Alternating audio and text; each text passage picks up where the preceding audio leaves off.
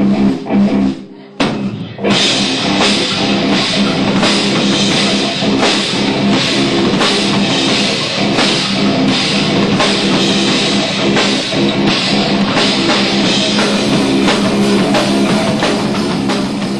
historia z 004 jest taką dosyć dziwną historią.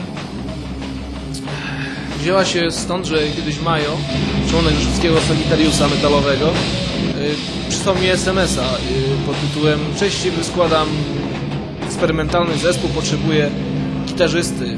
Dajesz radę? No a ja. No i spotkaliśmy się w garażu we dwóch, wiesz, przykładnie. No i, i cóż, bo Majo stwierdził, że musi być tak, albo zaistrzy, albo nie. Jeżeli zaistrzy, no to fajnie, jeżeli nie, no to dajemy sobie siana, nie? No i twierdzi, że mało się garaż nie spalił. Tak zaistrzyło. No i potem tam były próby z różnymi basistami yy, i wreszcie pojawił się drugi gitarzysta. A potem się pojawił Fish Depot, bo Majo stwierdził, że ma takiego kolegę dużego, który gra na basie. Problem polegał tylko na tym, że gość jest dwa razy większy ode mnie i tak na scenie będzie to śmiesznie wyglądać. Ale generalnie to przeszło. trzeba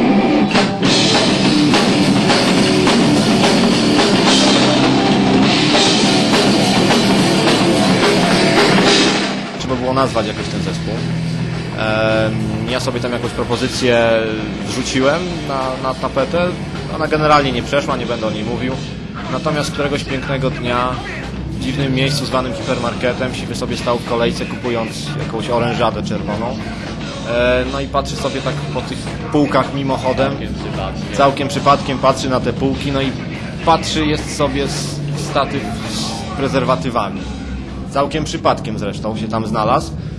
No i tak patrzy, statyw się znalazł całkiem przypadkiem, tak. No i tak patrzy, jest sobie jedno piękne opakowanie, na którym pisze model 004, ultra cienkie, potęgujące doznania, nie? Raz się raz, nie mówię tobie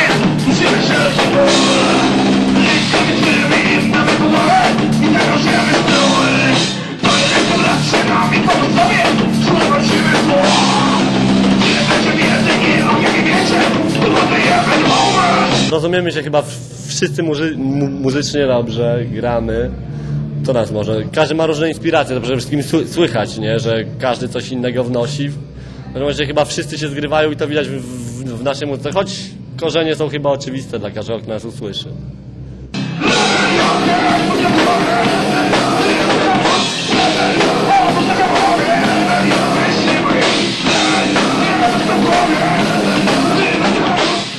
W tym momencie wygląda sprawa tak, że jest płyta, która wychodzi w październiku, płyta nazywa się Diablo. Jest to płyta, która, która po prostu obrazuje jakby całość naszych osobowości, całość naszej twórczości. Wychodzi w październiku i, i od tej pory dopiero się zacznie to, o co naprawdę nam chodziło, nie?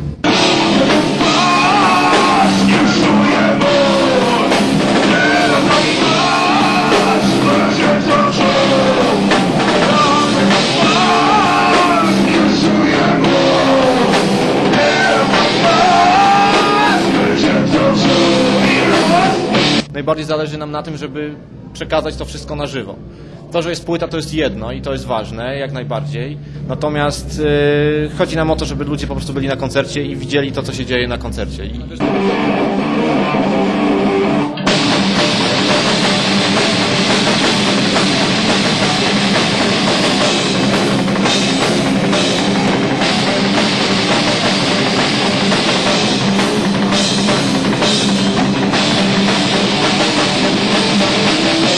Trudno naszą muzykę określić rockiem czy reggae. No, na pewno mamy korzenie metalowe i to słychać, choć na pewno staramy się jakoś wykroczyć poza ten jakiś tam sztywny schemat, jaki przedstawia metal jako sam w sobie. Na pewno chcemy zrobić coś, coś, coś więcej.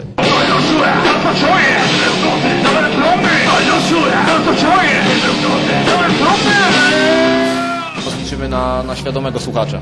Na słuchacza, który chce tego słuchać właśnie. Nie przychodzi dlatego, że tak wypada, po prostu dlatego, że on chce usłyszeć mocnej, energetycznej muzyki i chce posłuchać takiej muzyki. Po prostu na takich, na takich ludzi liczymy, no i póki co nie zawiedliśmy się, więc tacy ludzie są. E, dlatego warto grać, warto, warto grać, warto dawać tym ludziom radość yy, i sobie również, bo, bo nie ukrywamy, że, że przede wszystkim ta muzyka jest dla nas radością, a jeżeli komuś sprawia ona radość i, i potrafi w jakiś sposób y, ich naprawić, że tak to ujmę w cudzysłowie, to już jest dobrze, to już jest bardzo dobrze i tego chcemy. Czym?